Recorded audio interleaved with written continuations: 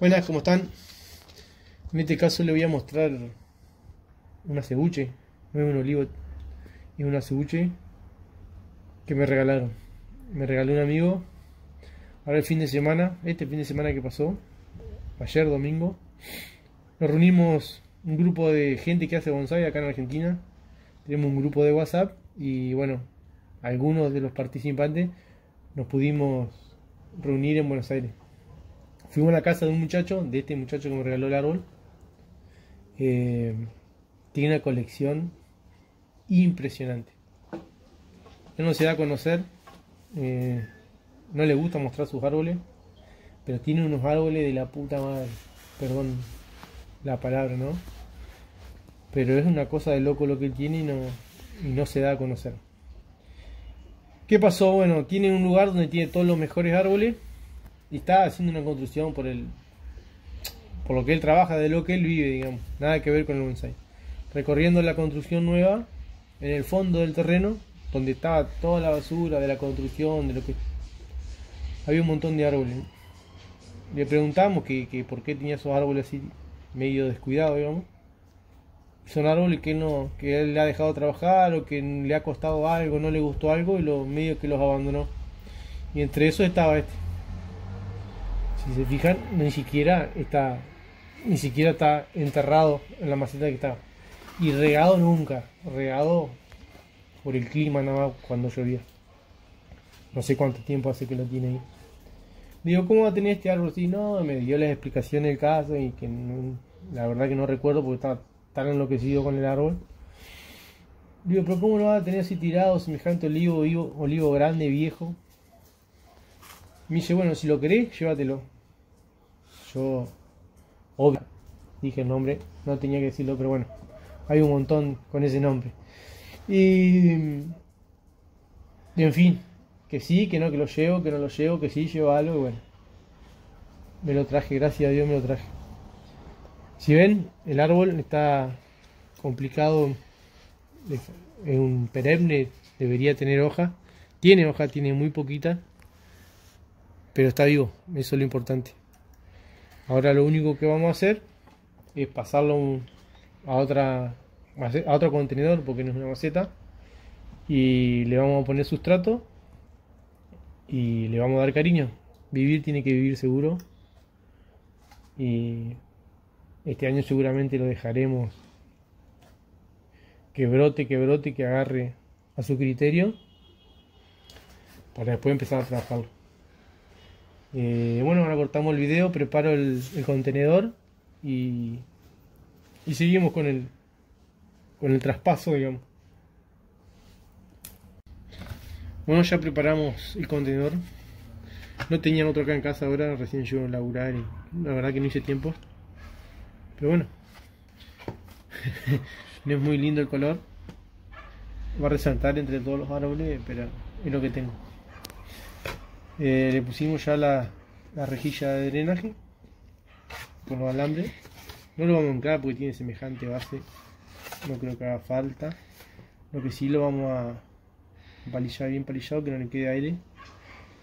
Es un olivo, un acebuche o un olivo silvestre como quieran llamarlo. No tiene grandes requerimientos. Pero bueno, pero está medio debilucho este. Vamos a empezar a ponerle sustrato y y hacer lo que hay que hacer, digamos.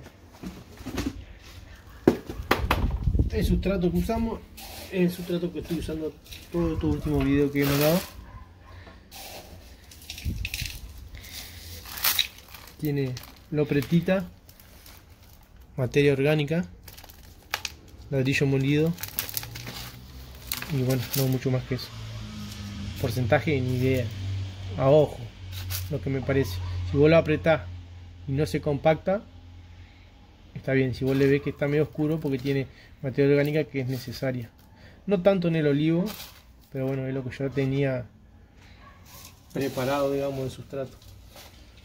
Eh, ah, te decía eso. ¿Cómo sabes que no te pasaste materia orgánica? Si vos te pasás de materia orgánica cuando apretás el sustrato, queda una torta. Este se cae, ¿eh? Y eso que está húmedo.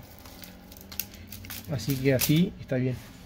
Eh, me gusta hasta a veces con menos, pero bueno. Mi madre el olivo no sería tan necesaria la materia orgánica, pero bueno, le queremos dar vida, que agarre fuerza, a ver si con esto funciona. ¿Qué hacemos? Hacemos lo mismo que hacemos siempre. Hacemos la montañita en el medio. Presentamos el árbol. Acá en este, en este momento no va a haber problema de el tema de diseño ni nada. Ahora lo que vamos a hacer es que viva y que mejore la, calidad de vida. Bueno, eh, volví sobre los pasos, me arrepentí y sí le puse alambre de anclaje. Si bien tiene el plato abajo que decía que tiene que es muy estable, en este caso como está jodido hay que asegurar la bocha y lo vamos a atar. O sea que no se mueva, que no se caiga, que enraíce bien y le vamos a dar para adelante.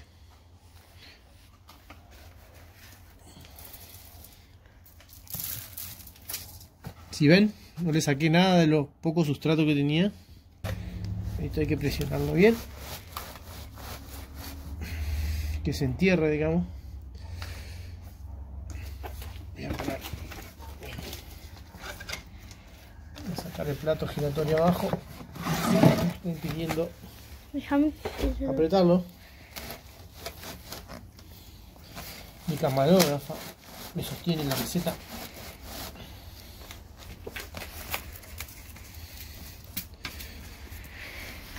con este palillo voy a llenar un poquito las raíces para que se entrelace con el sustrato nuevo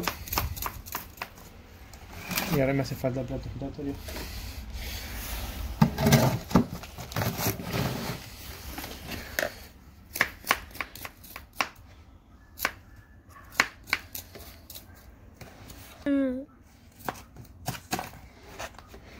este lado no tiene. Bueno la pasa es que esta es la parte no esta es la parte vida.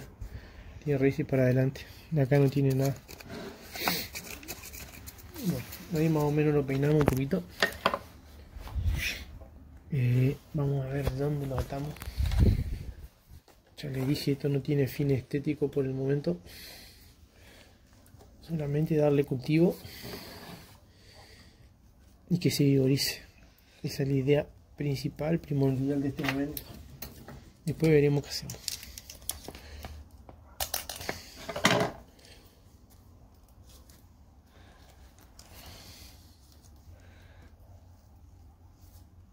Acá, nomás.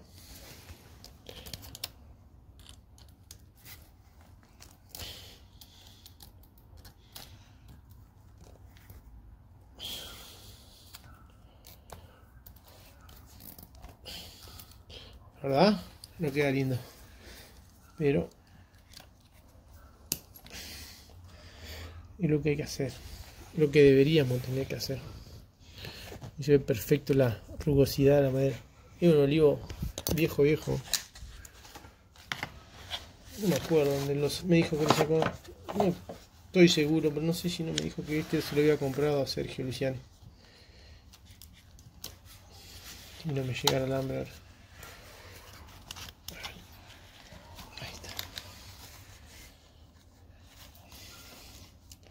agarra así, algo agarra, no mucho, pero agarra. Ahora cuando lo apretemos se va a agarrar.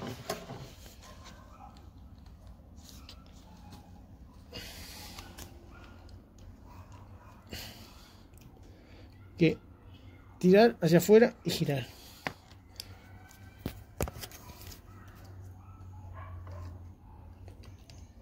tirar hacia afuera y girar.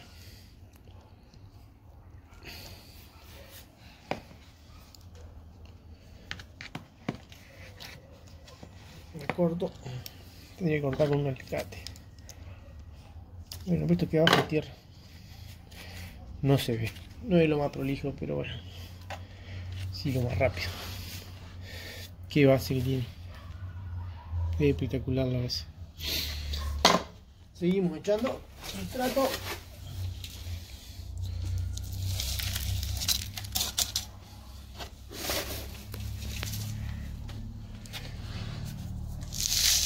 Por ahí se ven una pelotita de, de tergopor de construcción. Otra vez yo la había aplicado, no sé si han visto el otro video.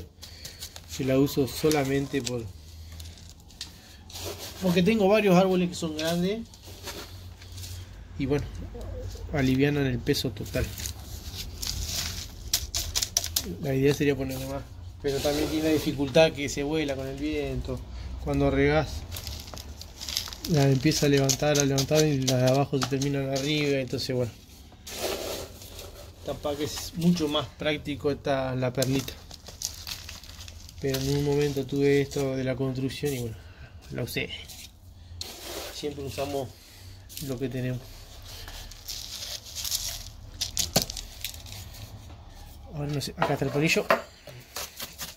Ahora lo que hay que hacer es palillar que le entre el máximo sustrato posible adentro del contenedor. Cortamos y después seguimos. Ya casi que ya estamos. Entró bastante sustrato. Está atado, no se va a mover. Ahora solo queda regar. Ponerlo en un lugar con mucho sol. Tal vez es al revés de lo que querías con otra planta.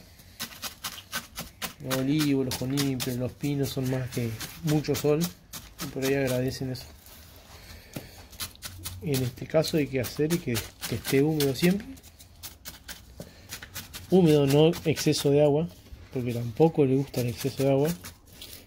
Y la mayor cantidad de sol. Después, en unos meses, si todo marcha bien, que es lo que creo que va a pasar, vamos a hacer una actualización y va a estar todo brotado. Espero así sea. Y bueno. Solo queda terminar de palillar un poquito, acomodar un poco acá el sustrato. Agradecer lo que siempre miran los videos.